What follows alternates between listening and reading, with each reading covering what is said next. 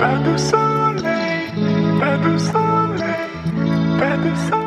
guys, welcome back to the channel. My name is Terry and you're watching the AXO. It's 2021, a new year means a new Samsung Galaxy device and this time it's the Galaxy S21 series in particular. So, what's new? Let's find out.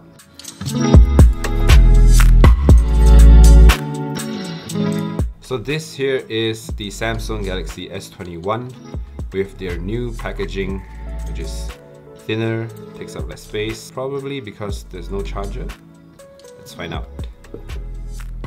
We have the phone itself, stickers, that's pretty much it. We have a SIM pin ejector, got some quick start guide, and a USB type C to C cable so that's pretty much all there is in the Samsung Galaxy S21 in this up.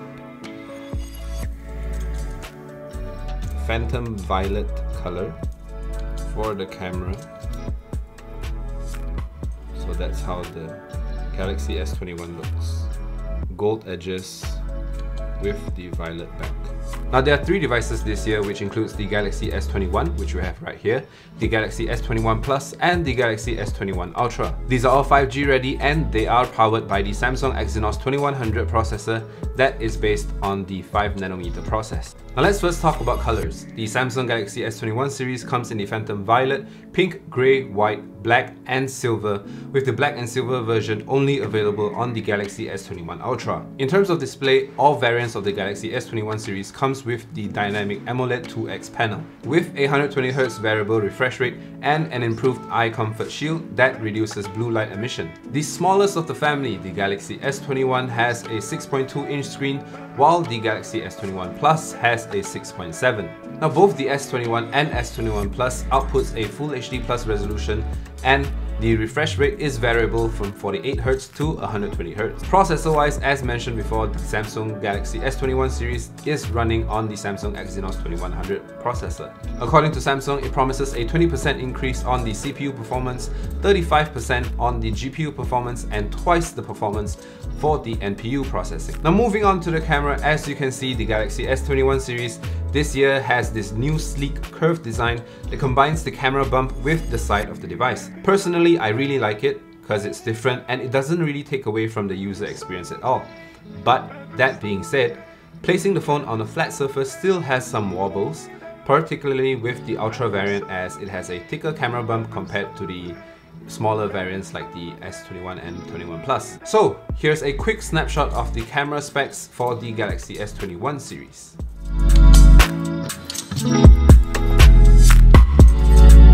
When it comes to features, the camera now supports 8K video recording in 60fps. Apart from that, all lenses on the S21 series now supports 4K 60fps super steady video from the main sensor to the ultra wide angle sensor and the telephoto sensor. There is also the new director's view feature which includes the vlogger's view and live thumbnails. Now vlogger view allows you to capture video with the front and back camera simultaneously while the live thumbnail feature shows you a preview of all the three lenses before you actually switch to them. The single take 2.0 feature introduces new photo and video mode including the best moment, highlight video, dynamic slow-mo, and scene lighting.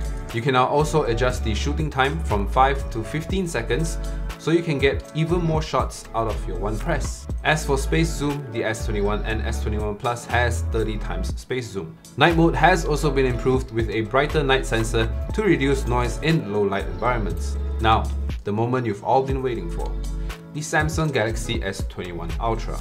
The Samsung Galaxy S21 Ultra has everything the Galaxy S21 and Plus has with upgrades here and there. The screen is a slightly larger 6.8 inch dynamic AMOLED 2X display with a 2K resolution. It also has a 1500 nit of max brightness and a 3 million to 1 contrast ratio resulting in bright visuals and vivid colors.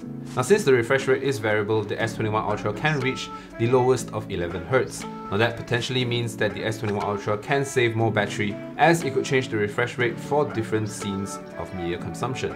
For example, watching a movie could reduce the refresh rate down to 11 or 24Hz, while playing a game could increase it back up to 120Hz for maximum experience. It also has a larger 108 megapixel main sensor compared to the 64 megapixel sensor on the S21 and S21 Plus. It uses Nona binning to combine 9 pixels into one single pixel for ultra clear pictures. For space zoom, the Ultra variant has dual zoom lens which are 3 times and 10 times optical zoom. Combine both that and that gets you a 100 times space zoom and thanks to the dual zoom lens, you now get zoom lock. This feature locks the focus once you've zoomed past 30 times and stand still for 2 seconds or when you tap on the zoom lock icon in the top left corner. Now connectivity wise, the S21 Ultra comes with Wi-Fi 6E and dual Bluetooth connectivity which lets you connect up to two Bluetooth devices at the same time. The S21 series also gets ultra wideband which uses Wi-Fi to locate your devices and the best part is it can even recognize distance with signal frequency and strength. This feature is used in conjunction with the newly launched SmartThings Find feature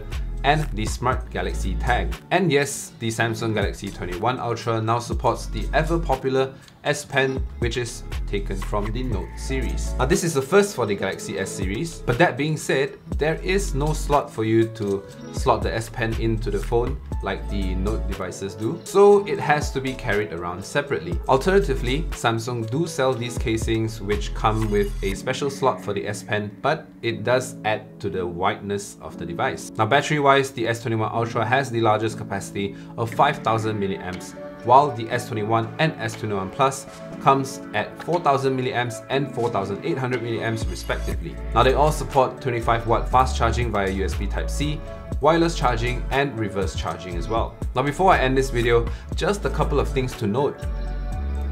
The S21 doesn't come with ultra wideband, but the Plus and Ultra variant do, and only the S21 Ultra has Wi-Fi 6E, while the S21 and S21 Plus only has the standard Wi-Fi 6, which in itself is already pretty good considering it's a big upgrade from the Wi-Fi 5. So that is all today from me for the Samsung Galaxy S21 series. I know this video is long, but I hope you enjoyed watching it as much as I did making it. But for the full details and specs of the Galaxy S21 series, you can get yourself up to speed at our website which is theaxo.com listed here. Now do give this video a like and subscribe if you haven't already. My name is Terry, thank you guys for watching and I'll catch y'all next time.